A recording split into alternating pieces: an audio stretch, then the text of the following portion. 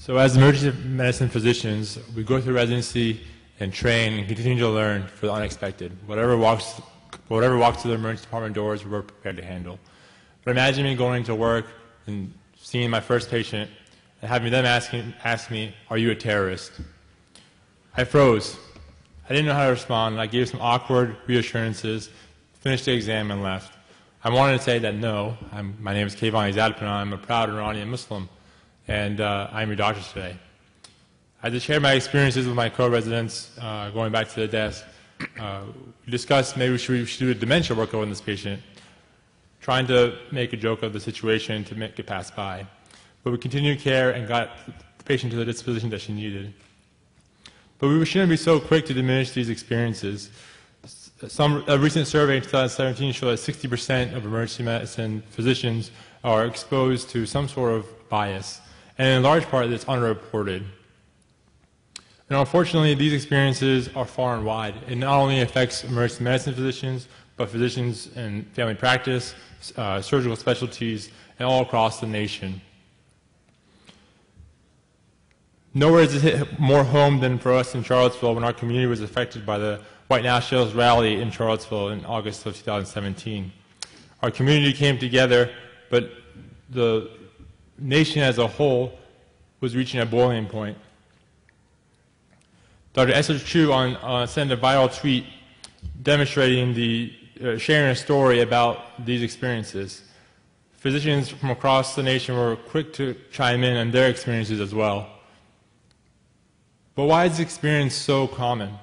And what can we do about it? As physicians, we took a Hippocratic oath to care for the patients regardless of what uh, sort of biases or what situations they might bring into the relationship.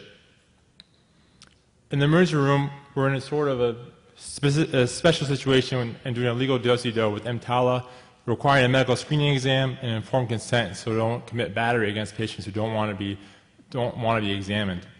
How do we reconcile this with the Hippocratic Oath? A recent study, or a study in JAMA, put out a sort of guidelines for us the crux of this is, is this an emergency or not? If it's an emergency, we do what, what we do best at, and that's take care of the patient. But what do we do when it's not urgent? This becomes not so simple.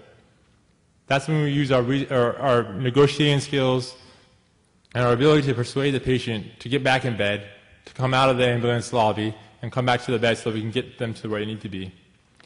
Unfortunately, this doesn't always work, despite our best uh, attempts at persuasion. Sometimes patients have their own itinerary and it may be filled with bigotry or hate.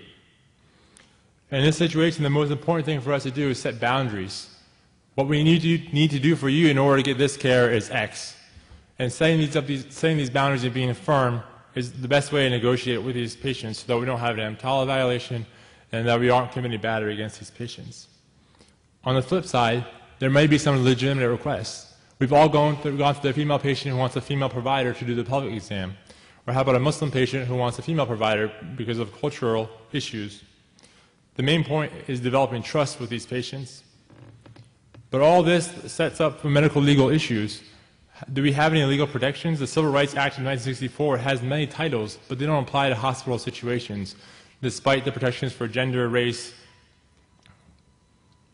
and, another important examination of this is our own biases. What do we bring to this patient-physician relationship?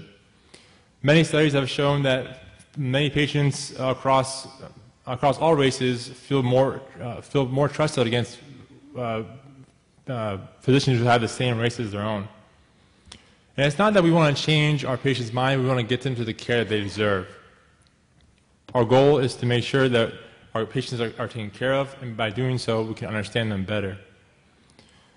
And lastly, I want to make sure I leave you guys with the impact this has on physicians. Dr. Choo's tweet set out a storm that uh, shared many physician experiences. And what's important here is that the burden that we carry can be significant. And physicians aren't equipped properly to handle this. 60% of physicians don't even know whether their institution has formal process, and many more than that don't even know how to utilize it. So what I want to make sure I leave you guys with is to lean on your department as a whole. We can take this issue on and spearhead it ourselves by leaning on our co-residents, our colleagues, our nurses, so that we are able to share our experiences, and not carry the burden by ourselves. Thank you.